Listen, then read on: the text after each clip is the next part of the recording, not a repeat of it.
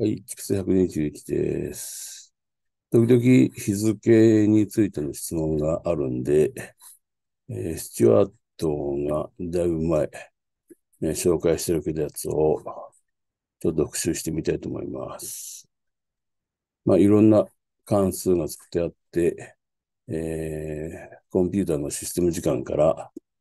今日の時間を決めるというものです。まず、2月の29日があるかないかの判断をこれでしています。それから、月の名前とか曜日の名前、えー、29日があるかないかで、これが決まってくると。で、これを期限のところから、えー、全部、うん、出席してきて、最終的に今日の日付の、うん、年と月と日を、うん、指定する関数。それから、それをもとに、えー、日付を出力する関数で、ここのところに、えー、日本の標準時である9時間プラスというのがあるんで、まあこれは、えー、各地域ごとに決める必要があると思います。日本は9時間進んでるので、ここに入ってます。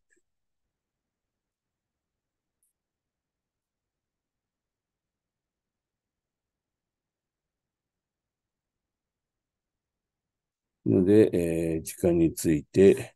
英語版と日本語版を作っておいたということです。で、えっ、ー、と、現在は、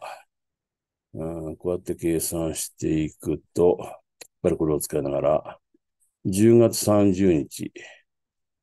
の13時に保存したということですので、計算というところで再計算をすると、今日は11月1日の今10時5分51秒ということで、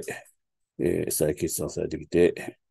えー、コンピューターの持っているデータから今日の日付と時刻を表すことができるようになります。まあ、こんな感じでコツコツと計算してくるということです。ちなみに、えーえー、曜日を用いたり、うん、月の文字を用いたりして、文字列として表す方法がいろいろ紹介されております。また、Excel からデーナンバーを読み取ってこれば、あとは時間だけのことなんですけども、それとの関係はここに書いてあります。はい、以上です。